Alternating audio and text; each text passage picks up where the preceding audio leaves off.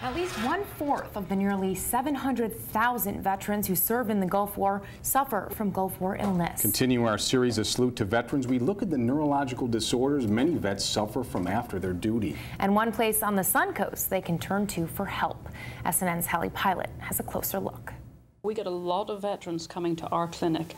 We're here, we're working night and day to try and find treatments for these conditions. Sarasota's Roskamp Institute researches neurodegenerative and neuropsychiatric conditions. Many of which are relevant to our veterans and our active duty military.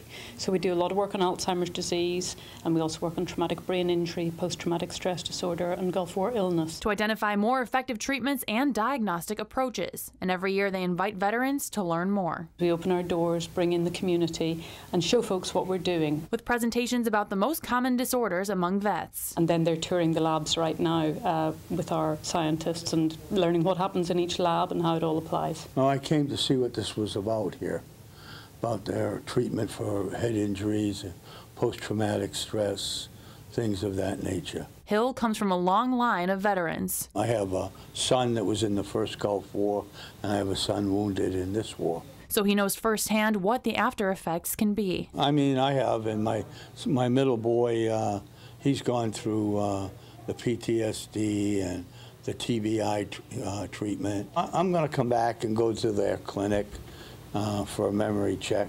I feel very passionately about the fact that if people have served our country, that they should be looked after when they come back. With a salute to our veterans, I'm Hallie Pilot.